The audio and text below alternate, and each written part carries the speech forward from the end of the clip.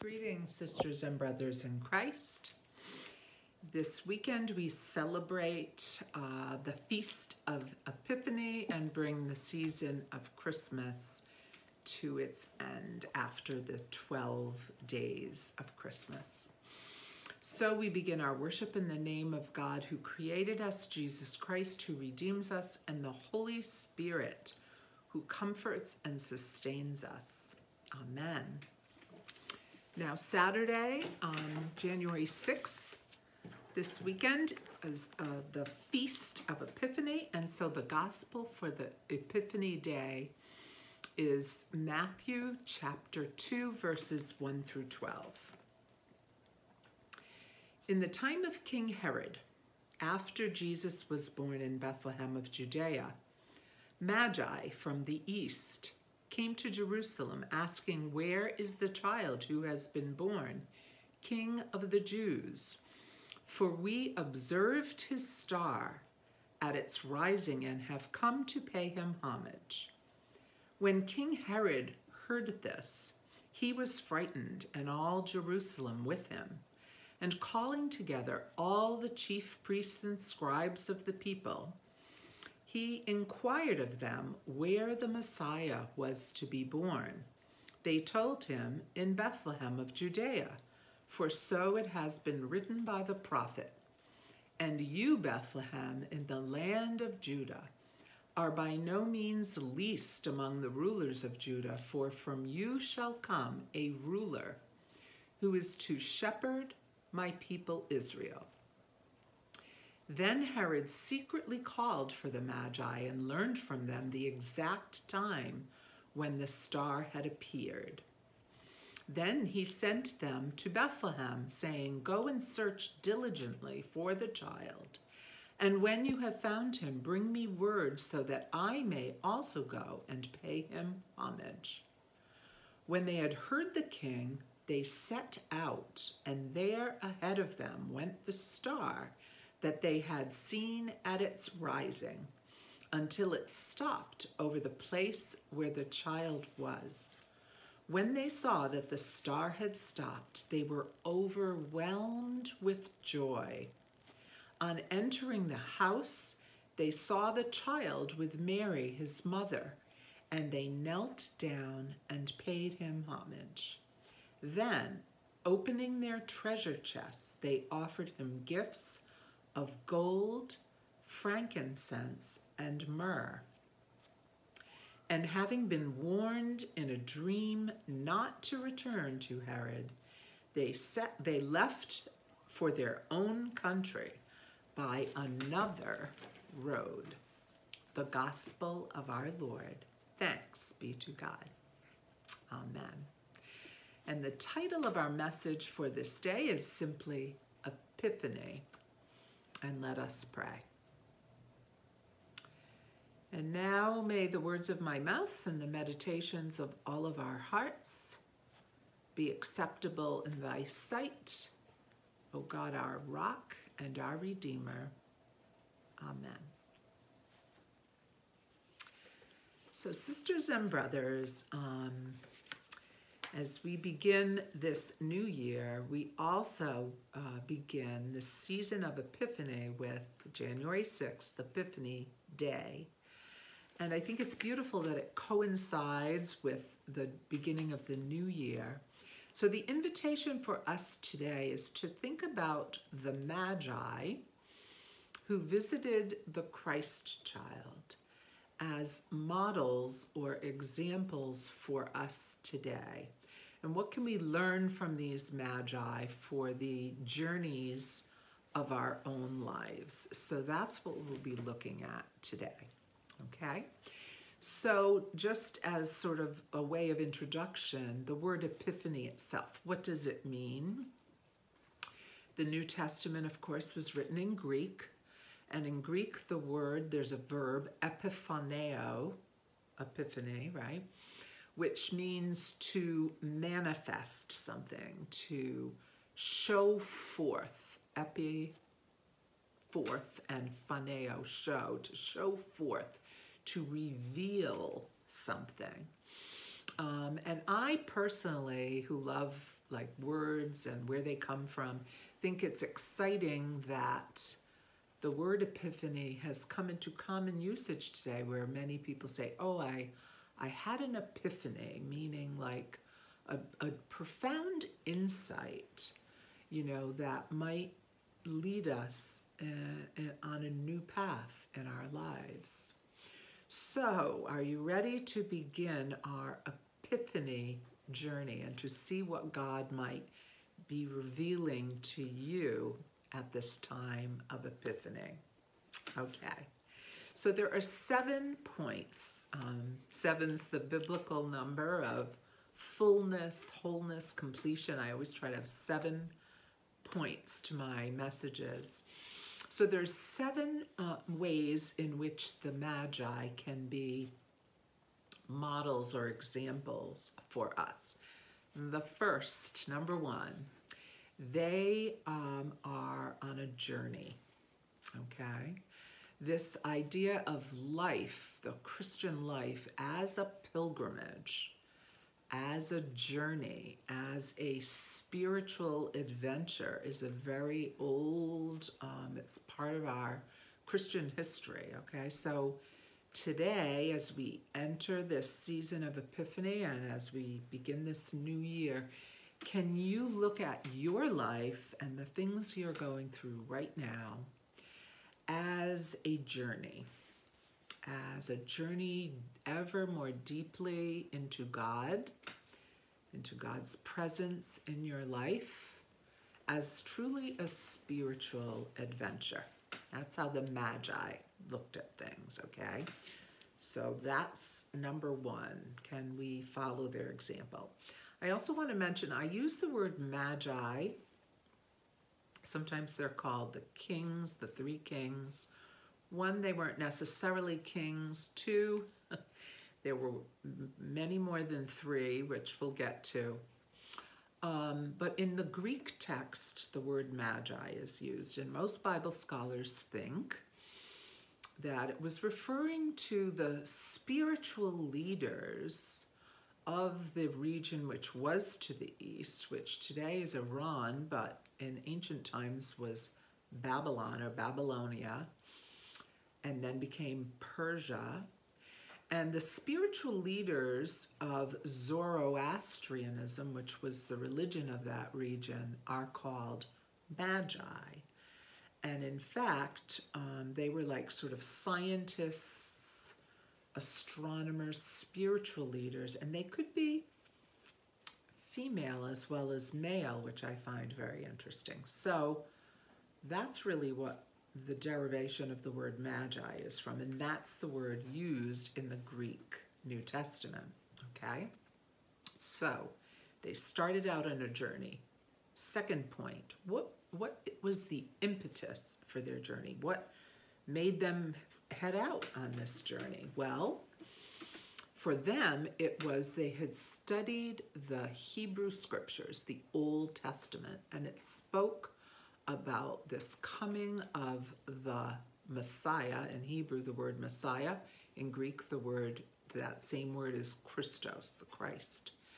And um, so they'd studied the scriptures. The invitation for us, if we're to model uh, the Magi and follow their example, is for us also to search the scriptures, to, to look for the wisdom of our our scriptures of the Bible to guide our lives, okay?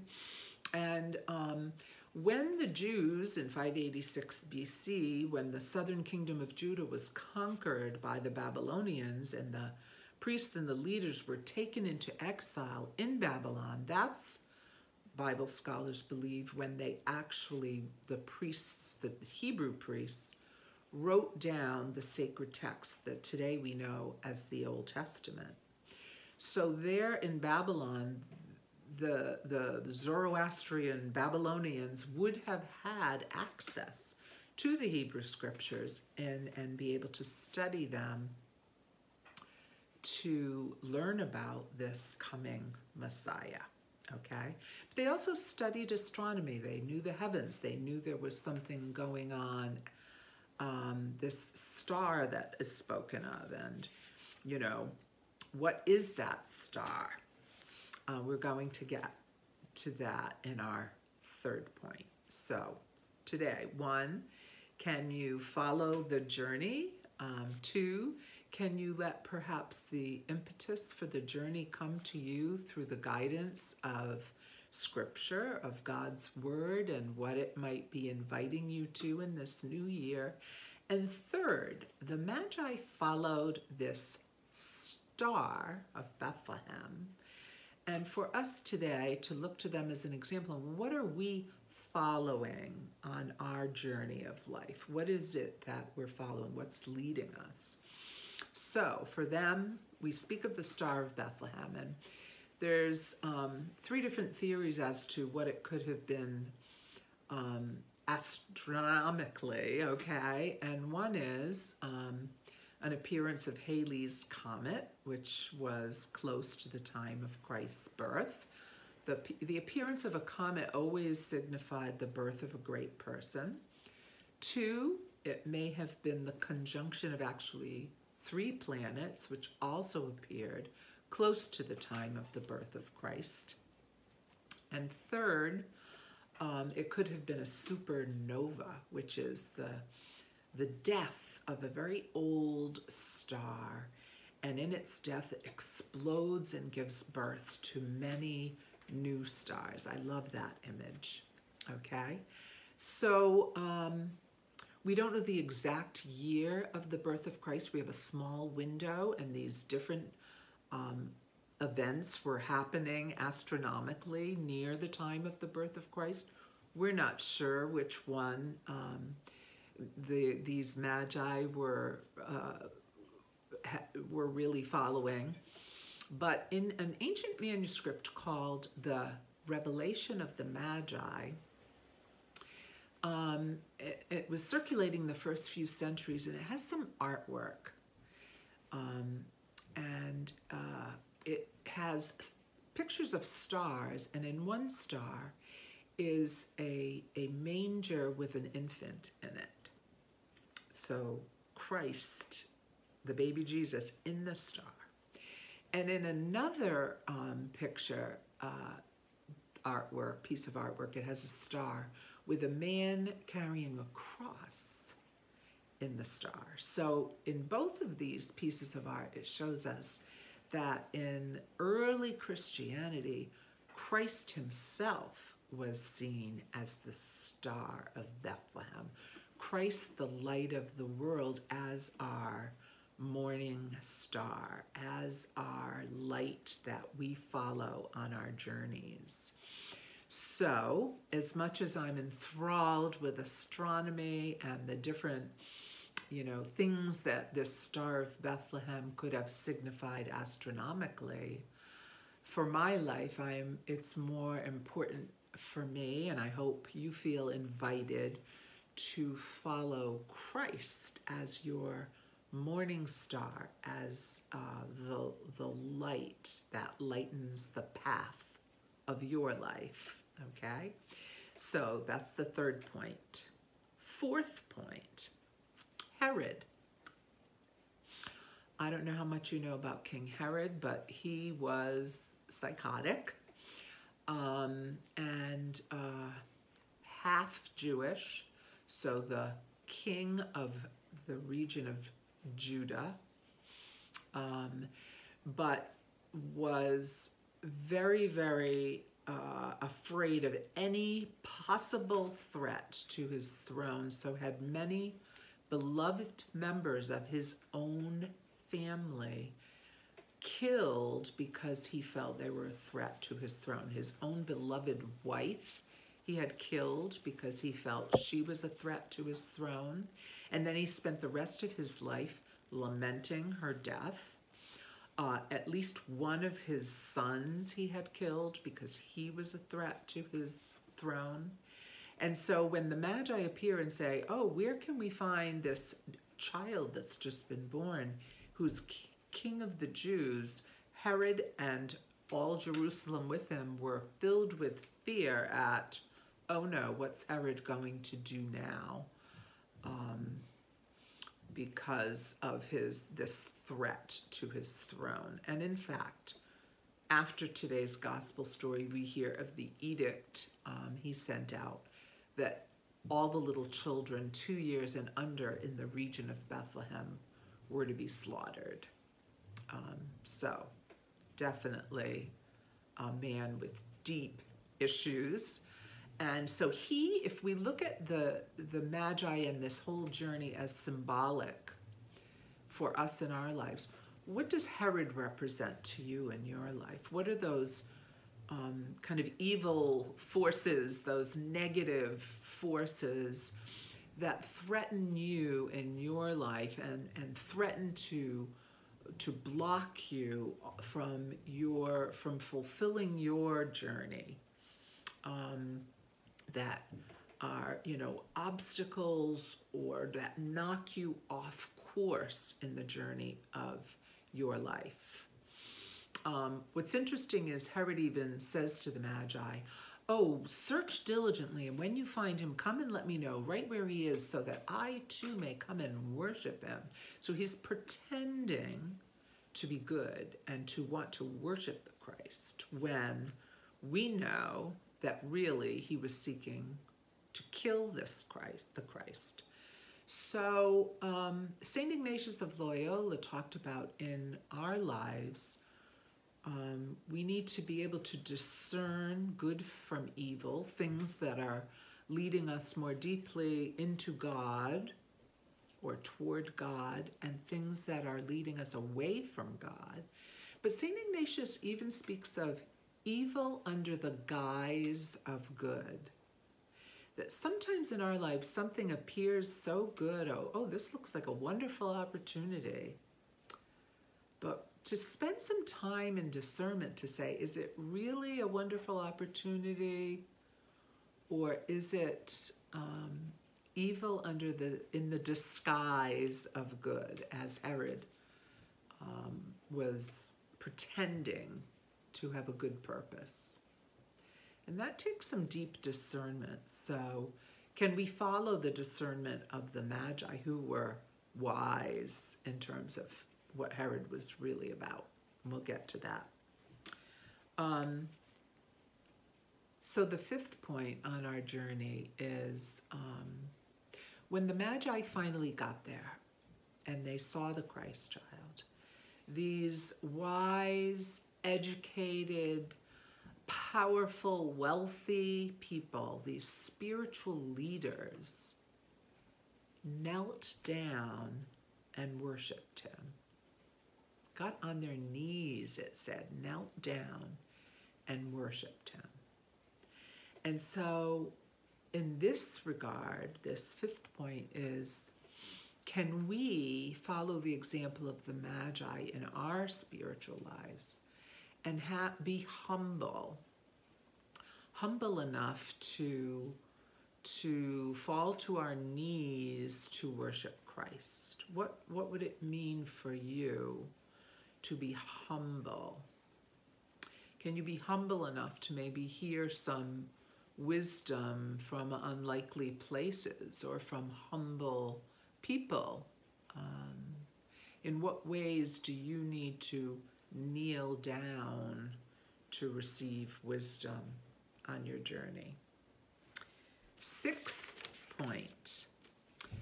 They knelt down to worship him and then they opened their treasure chests and offered him gifts of gold, frankincense, and myrrh.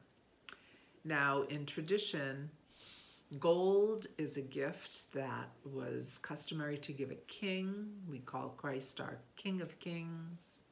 Frankincense was a gift it would be customary to give to a priest. We think of Christ as our great high priest according to the order of Melchizedek, right? And myrrh, we're told, is a, is a spice that was used to anoint people's bodies after they had died. And so this, we're told, is like a foreshadowing uh, of the, the death of Christ and that part of his journey, his purpose was death on the cross. um, that sacrificial element of his life for the sake of the world he so loved. But uh, a woman yesterday at Church Beyond the Walls who studies um, medicinal plants and spices, and she said all three things gold, frankincense, and myrrh actually are healing elements and used for healing purposes. And I think that's beautiful. The word healing means wholeness. But for us to look at the model of the Magi and to say, what gifts do we bring um, to the Christ? What gifts has God blessed us with that we, we are to share with Christ for the sake of this world Christ so loves?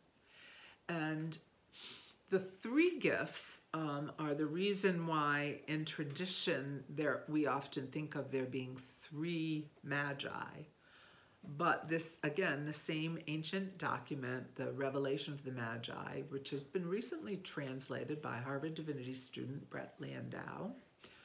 Um, it in there it names 20 something um, people who were part of this entourage that traveled um, uh, as as part of this journey of the Magi three wealthy people carrying very expensive gifts would not go on a journey of many, many months across the Arabian desert all by themselves. They'd have a big entourage with some armed warriors, guards to protect them and the gifts they carried, okay?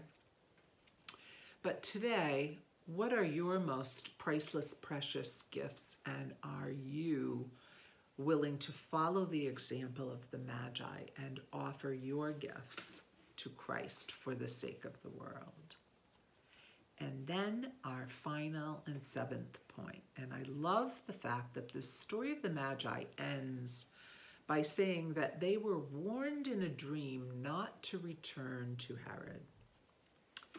And so they returned home by a different road they took an alternate path.